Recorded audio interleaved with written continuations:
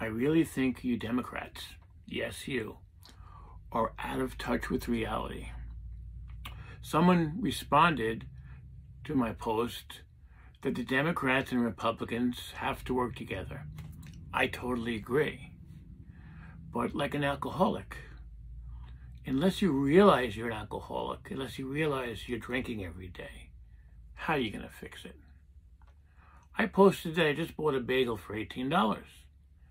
And people tell me I'm delusional.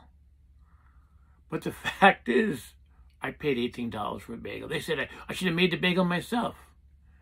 They're not coming to terms with the prices and what the Democratic Party has done and some of the Republican Party. But you have to come to terms with what's going on when gas is high, bagels are $18, the border is wide open, all the cities are filling up with illegal immigrants. You don't see Sweden and Norway and Denmark and places all over the world allowing millions of people come in. America should help them fix their country. It's impossible for the whole world to come into America.